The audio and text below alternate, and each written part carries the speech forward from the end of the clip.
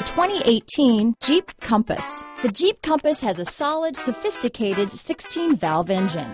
It features electronic variable valve timing that continually changes the torque curve, bringing more versatility to the 165 peak pound-feet of torque and more capability to the 172 peak horsepower. Here are some of this vehicle's great options.